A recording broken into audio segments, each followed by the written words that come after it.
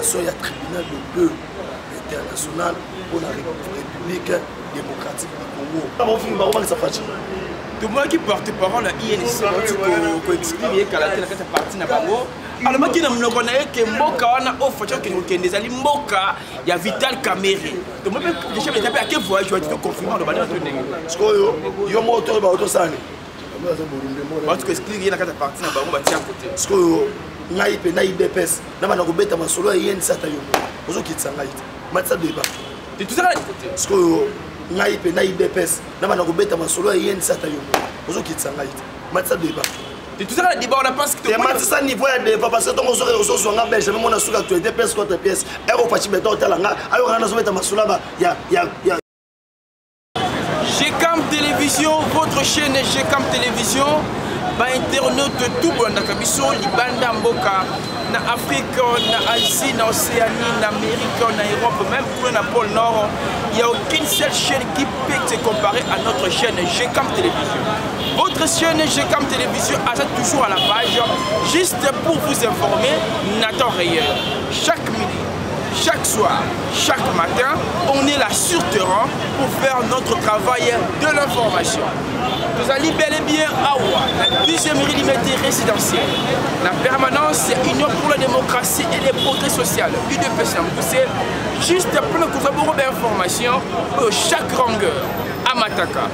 Pour na korange juste là pour nourrir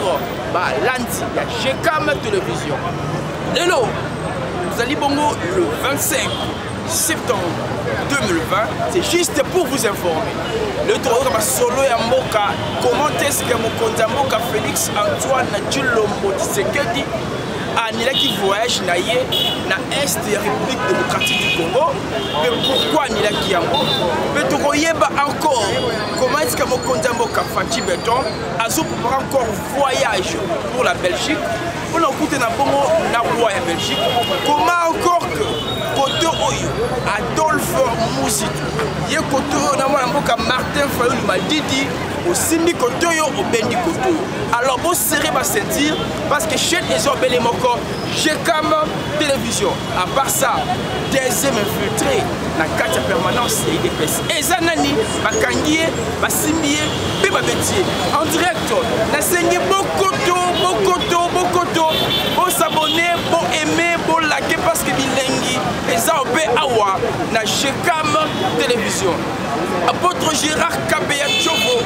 bokoto yebisa prophète john percy akoto oyebisi mwana tuka véronica meta akoto mama madomba delene bokoto boaime bolake bokomante eh, costa mbasu yebisa roger tokoti baswangi akoto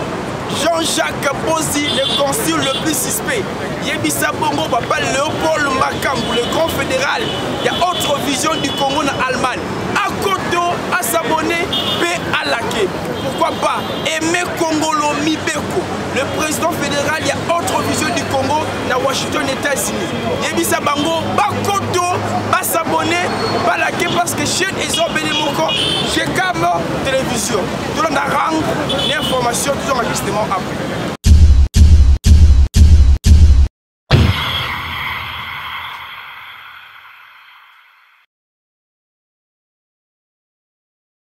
pesi bino nyonso merci bainternaute tout baabonne ya gcam télévision bino baye bolingaka bongo euh, mwana congo mwana congo le véritable mwana congo ne kitoko toza bongo en face euh, na mwana tuka piece contre piece benjamin oyo apesaka bongo makambo place bainformation ebatama eh, yakitaka bongo na badetail mpo na bainformation kasi boyeba yango euh, mbala moko napesi merci na oyo alingaka mingi mwana ntuka benjamin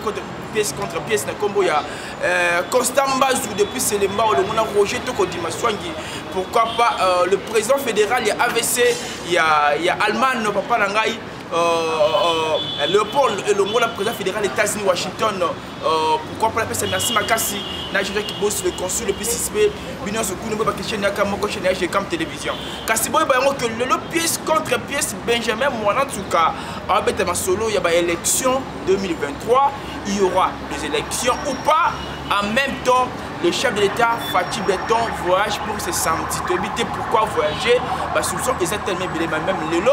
mona tuka pièce contre pièce benjamin akopesa biso badetail ya bainformation wana mona tuka benjamin eh, bonjour bonjour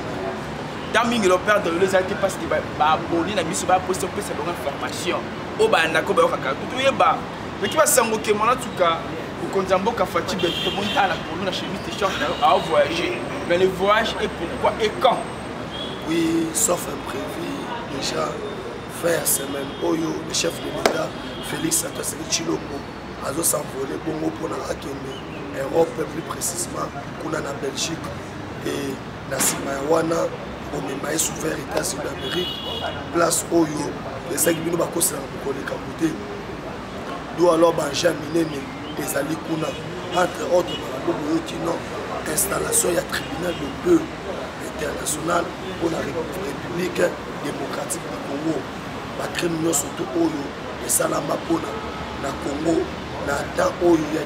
18 ans na temps oyo ya mose lora desri kabila les crimes là ne peuvent pas être puni esengeli bapinir yango en desordre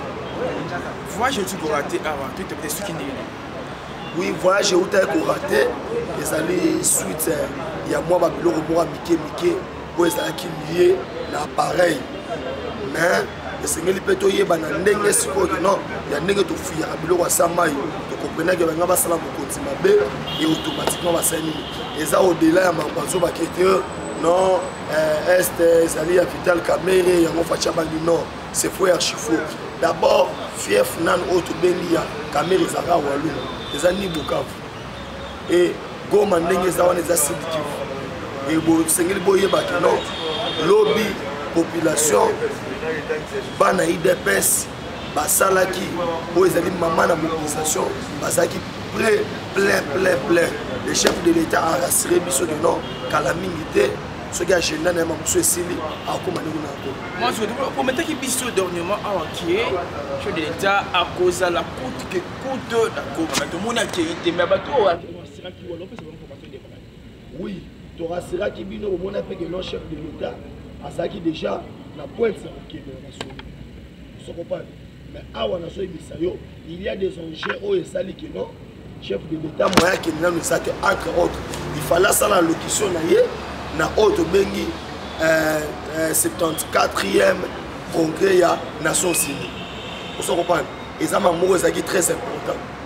et entre autres il fallait koluka koregulariser makambo na ye parce que chef de l'état soki ozoyeba te na 3 mois awa kozala président ya union africaine comme etant oza président union africaine akoma président ya sasu ya eduardo ya lorenzo ya bango nyonso tu ozo comprendre do alors eza makambo ezalaki nanu nini mais kaselane etienne batindi déjà délégation mobimba oyo ezali composé na chef d'état major général celestin mbala oyo eza na est et mpo na information na bato ya est boye baboye on a recensé basoda kuna plus de 60 quelque pourcent ya basoda basato baza barwandais ozo comprendre po ntango mosusu ozolobaki ono ete chef de l'état kobango kende est te ozo comprendre quand ye un voleur oza moyibi okoprofite so to mpe nde nini te ngai naza moto ya liboso naloba awa ke nasali rapport koyasa makasi natangi natali comptabilité oyo kamera alakisa na mama soki non kamera ape vole bato banda kondimela ngai te et aujourd'hui là ba moi 5 personnes moko boye omoi chef de etat ozoloba awuti na foyer politique oyo bagaz ebanda kobeta amela bagaz ya bavert ya bajaune ya baorange ya baviolet oza kopana so 5 personne na mabanga baofingi bakobangisa faci tomonaki porte parole ya inc bauti koexprime ye kala te na kati ya parti na bango alobaki na monoko na ye ke mboka wana oyo faci akende kokende ezali mboka ya vital camere tomoni mpe deja beta mpe ake voyage wati toconfirme aloba nde to ndenge sikoyo yo moko toyeba otosani batu koexplike ye na kati ya parti na bango batia kote sikoyo ngai mpe na idps na bana kobeta masolo ya ye nisata yo ozokitisa ngai te matisa deba tozaka na deba wana pasmatisa niveau ya deba parce que tongo ozozwa nga benjamin mona suka actualité pièce contre pièce eko faci beton otala nga ayoka nga nazobeta masolo ya ya ya ya ya biloko ya miki ata yo parce que bato baposa baconfirme ah. bamona ntuka fo baconfirme eloko wana ke ye alobi ke mboka wana mboka kamere chef leta otya makolo ne kuna te batye makolo kuna tebango este wana tomoni este wana kuna sikoyo josé makila azwa mikolo ke tuna josé makila mwasi na bala aza nani abala ye wapi aza leki ya kamere kende siko na londres oza bato baza na londres leki ya kamera atanga kuna na identité nini aza na société nini tobeta masolo bani batomona bango tota boma ngwele oteka afa tobanda émission mikolo efo mangwele so mangwele te nasana émission te parce que nakobimisa pema na nga te nasola no congo aussi longtemps yo oza congolais te tosolani benjamin plus contre plus mona tuka apo betano masolo bandeko na nga bajuriste bafozala mangwele ya awa to ya lipeka soki eza te pedira mokama te papa yaka nanu boye yaka nanu boye mokwata mokwata bon en tout cas 2023 élection ou pas donc toyeba babi idps abanga baélection en tout cas betela masolo moke papa bele awana biloko ya mike yoka toloba avec kosa machine à voter tokende élection kabila simba butu parce que plan na ye na oyo tobengi kieta dialo Keita Diallo. Keita Diallo ezalaki que non. Keita oh. Diallo, Keita Diallo nani Keita Diallo. Keita Diallo ye bieti. Nani? Obo benga awa Martin Fayulu. OK OK. Po musito to beta moi musito alobi que Sénégalais ako récupérer la muka te. Eza ko yinda ti mbwa simbwa.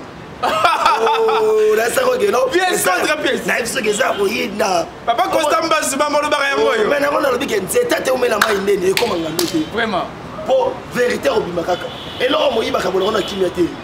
babundaka mpo na koswa bete masolo wana awa nayebi so noketa dialo plan na ezalaki nini toboya eh, machine a vote tokende te mpo bafai glisse nani kabila au travers shadari faci mwana politicien ete sekede ya mulu yo tobeta na masolo akomo tata nona mama na ona eh, leo so tozwi nga na problème mama na yo komone nani tokifulu epa nani mais awa ah, tosala wa a quelque mètre toke kaka botoke na nsima papa mama mwana osala boye osala boye tofundi ye mais avant tofunda ye ayesena bofanda na bolena ndakala na mujibujibu ozo comprendre ça veut dire ntango ozo osanti keno chef de l'état 100% congolais moto awanga naza te epuis congolais ya centre eza te congolais moko te mama ne walungu papa na ye soki lubakura banzela te 100% congolais en tout cas hein? question outil à partir tozo to sisa na bango la élection hein? question ngai wana et outil depuis Washington hein? papa papa nanga aimé Congo le président fédéral de Washington ya AVC avec une question pour UDPS parti allié na biso asungaka biso mpo babata babata AVC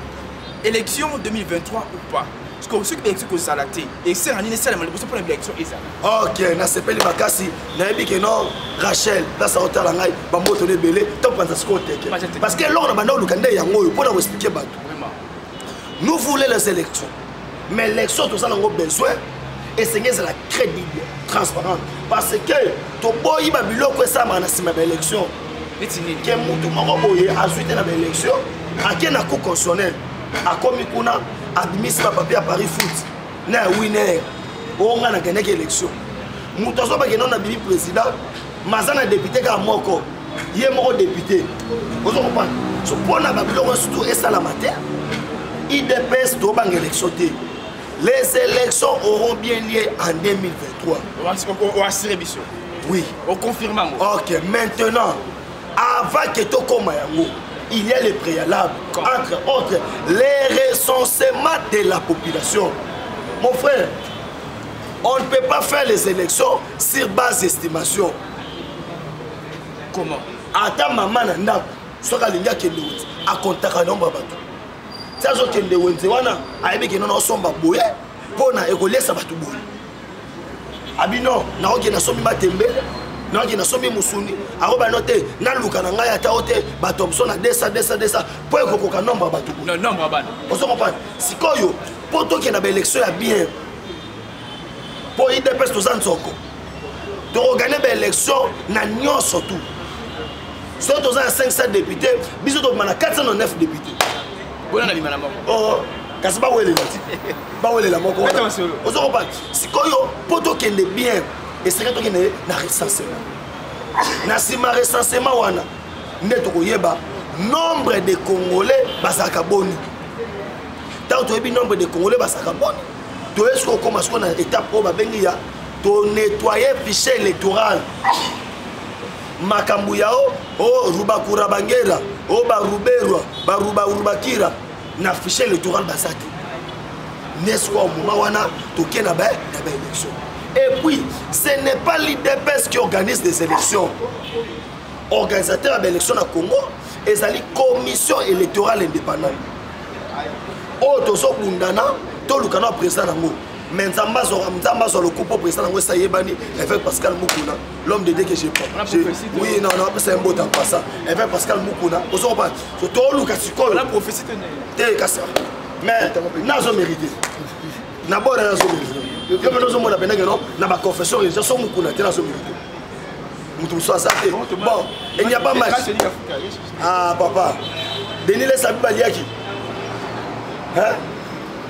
tala omoni ah, denis abi amoni prophetie sur notre bete ba ah wana nzande mute sala yo ve nzala ve to ebani hein wana etaki un homme de dieu te na olobelo sikola mambo olobi ve denis lesi hein nzala ozo kopana nzala nde mute sala ye taka vers nzala hein mutu akota prison pona na muyibi ozo kopana mais mukuna akoti prison pona mambo mboka abimi pe molongi kabila azo afinir na prison abeta ye asala boye aboyi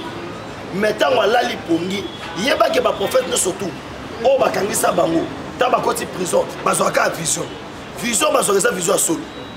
e na kati ya vision na ye amoni kabila na cpi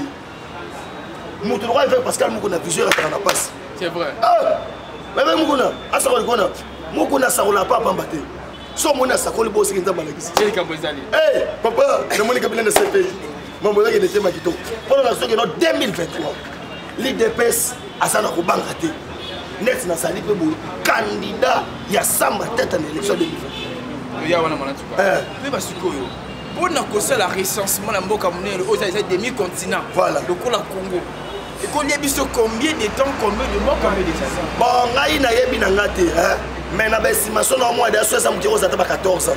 oyo okolia biso so ele biso ba 14 ans vaut mieux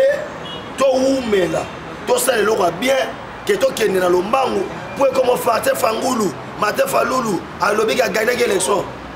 oyo esenga soki na kati ya présidence tosala 1 plus 4 to tosala Est-ce que makambo ya élection na présidence eza deux choses différents na tokoya biso kino c'est lui qui organise les élections c'est la ceni tozali na onip yango nde moto esaka recensement etali présidence te président ofanda ne kaka azalaka bino bobengiseke no papa ekomi akodepose candidature odepose candidature epuis eza mpasi mpo na nini faci akosala remise reprise na jésus christ vraiment napesi merci mingi na le consul le plus spécial jaki bozi papa de papa moi en tout cas toki kuna adolphe mozitu kote oyo fayulu balobi sénégalais obeti yango sikoyo a ah, yo moko éclaircir biso qu'est-ce qui ne marche pas na kati ya lamuka mais qu'est-ce qui ne marche pas fayulu aza aza aza otobengi lokoso alie alie bor ye moko mbongo apesaki epa remo chibana 5 millions omonaki basaki makelele awa keno aye oyo naboyi bajuge nasali baboyi me nzoka nde ve na biso bruno chibala aza mayele makasi chibala abeti biso eloko moko abi papa bozosambwa na bino pamba ntango tokendaki epa docteur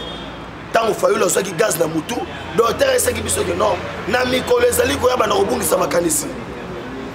owana cibalako na mikolo ebandi koya banda kobungisa makanisi yango omoni ye ake na états-unis o oh, te makambo ya verité des îles nalapi yango na kolobela yango su te aye na belgique masolo mosusu aye na kinshasa masolo mosusu mbongo ya bato ya faden house hotel ya bato ya samuel eto ba travailler ya ye te oh ya ye wapi ya zambo osoba ya bato ya samuel eto ba travailler ti lelo 50 mois epaye nde moto ozo ya koma président ye wapi eh, sac ya bato ya f bazali ba porte disparu po eh, bazali bayoka na esu te polo ayiba ezaki ye na muzito adolphe awa sikoyo na muzito muzito alobi boye pangi na sénégalais bakokoma bapangi te pangi na ye félix sekedi ozala mokongo mongala moswahili beto mais sikoyo yo sikoyo babombaki yo na nsima kipangi parce que kabila devait faire une pression pour retourner en 2023 chose qui est impossible parce que akozonga te pourquoi parce que il n'est pas congolais du souche devant le chef de l'état il a été incapable parce que kabila est venu devant le chef de l'état pour lui proposer élection banda koleka na suffrage indirect soki okoyebisa bino te la raconte tshisekedi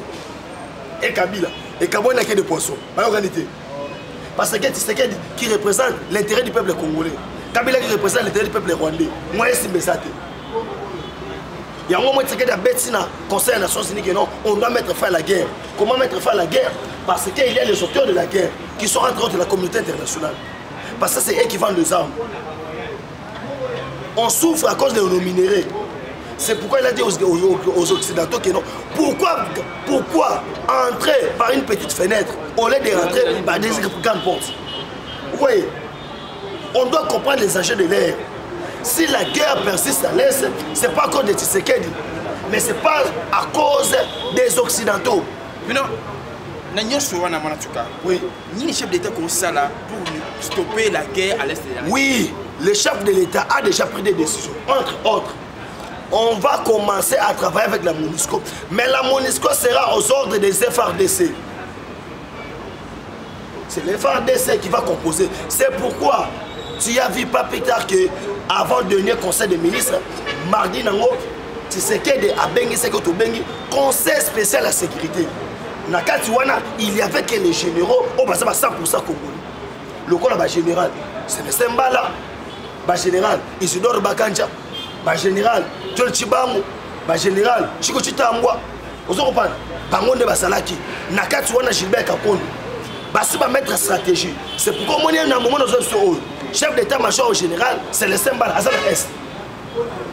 aza na mission ya koidentifie makambo nyonso tu epuis tisekedi ava koma na janvier président union africaine nazwa asire oyo lelo ke goma bakobeta mololo parce que na baparole na ye oyo atenir na conseil supérieur ya, ya, ya, ya général ya nations unies alobi je vais redonner les sourires au peuple de l'est voilà un président qui rassure est ce que la monisco va accepter à sorte que les FARDC puissent diriger les troupes à l'est Oui, la MONUSCO est au service de notre nation. Cela veut dire ce qu'il peut décider aujourd'hui, comme il a déjà décidé. Mais le départ de la MONUSCO est progressif. Vous voyez Maintenant, on a changé la mission. Parce que si la MONUSCO vient, c'est par rapport à la mission qu'on lui confie. Et cette fois-ci, on a demandé à l'ONU de changer la mission. C'est pourquoi Donald Trump aux États-Unis a acclamé fort pour Fachibeke. na réponse epesi ngai suive susi question moko kati na nga toti koyoka yo mwana tuka betaki eloko moko boye nga moko témoin ke ex chef de l'état aluki moyen a empoisonné président ya états-unis d'amérique emilio Non, la Maison Blanche a confirmé qu'il y a eu de gaz toxique. Oyo, ils sont mortels. Bakoutiens, on a 12 courriers. e tomoni kena organisation babengi ya état islamique oyo kabila aza moko ya basponsor na yango il voulait mettre fin na oyo tobengi donald trump tunza mwana matete na kati ya boloko atika nayebisa yo awa nazoyebisa osana pa marché et parmi babiloko oyo ezali phare chef d'état azokende kosala il va s'adresser aux états-unis na communauté noire na niveau et la rdc porte, se porte premier grâce à fachi beton la rdc a produit un million de tonnes ya cuivre na espace ya wimo c'est du jamais vu bakoko batomboki na kabeya kambo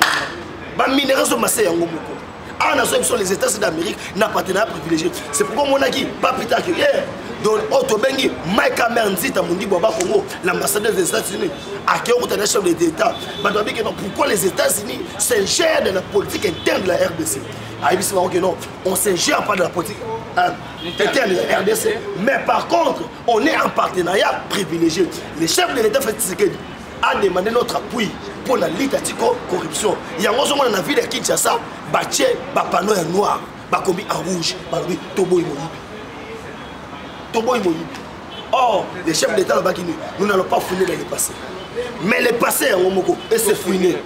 tomoni na kati ya lepase tomoni josé makila moyibi tomoni matata polo moyibi tomoni kabila abotela diamba bato lepase ezelaki vraiment na bisi merci oyo tobalandaka biso comprendre que c'est pas moi qui parle c'est bel et bien votre humble informateur oyo informaka bino chaque fois matin midi et soir piese contre piese benjamin mwana tuka awabimisa biloko asamai biloko ya bangubabi nzete ata ebeti mine na se ebale ebongamaka na yango nde ngando te apesi libe éclaircissement ya mwana mboka martin fayulu madidi elongo na adolphe muzitu mwana tuka bikima basango moka mokeke euh, awa na kati ya siège na biso awa ya 10e rue euh, mwasi ya euh, alexis tambimwamba beteli awa mpe deja na seko bon aza na ye awa de moment à l'autre bozoya baimage aza na ye awa sur place par rapport oyo toanda kolobake non omoni soki yo tata mokolo okomi kosente ekozowangana sokoba oza dine te babenga yo excellence babenga yo boye babenga yo boye moi je pense que aza awa kamera na bino ekomi epa na ye bokoswa ye bocomprendre cri ye réellement ntango moko ozo comprendre moi makambo mosusu ça fait très mal ozo comprendre esala mpasi epesa mposa kolela ozo comprendre epesa mposa kolela yo alolo kozopesa mposa kolela ça fait très mal genre ya bato wana oyesa baza bakongole na oboya ozo comprendre na oboyi yango parce que un congolais oyo aza mpasa ndeko na ye akonyokola une pauvre dame boyote wana tuka presque arrivé à la fin mwa mbote mpo na bato balanda yo mpe bandeko na biso balinga mingi comme télévision echitena oui napesi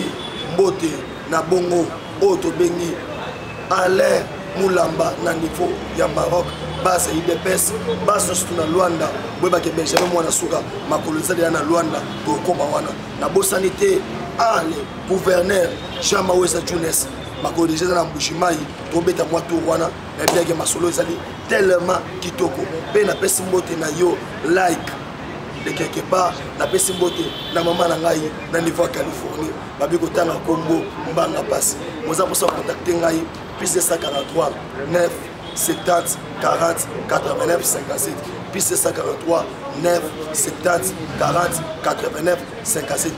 nabosani te faci solution babi mingimingi faci solution makambo eza kitoko mpe nabosani te eh, etienne kabongo deboulonnage présent ye wana azoya na belgique etienne kabongo chana oyo yango wana mpe nabosani te bon bino nyonso tuka radio te merci makasi na belieu mon entour pièce contre pièce napesi merci encore euh, na papa na ngai gérard kabeya chovo chovo apôtre d'amour papa oyo alinga bolingo makasi apesaka toujours euh, moral moko neville folinga bato ndenge moko omilingaka merci encore la prophète john persi depuis londres mama na ngai euh, mado madeleine mwana tuka pourquoi pas véronica meta pesi merci mingi na uh, papa na ngai uh, jean-jacques bozi uh, le corsi le plus esprit elongo na mwasi na ye mama na ngai uh, nasi uh, mudia napesi merci mingi na papa na ngai aime kongolo mibeko le grand fédéral ya avc na états-unis washington merci mingi na papa na ngai leopold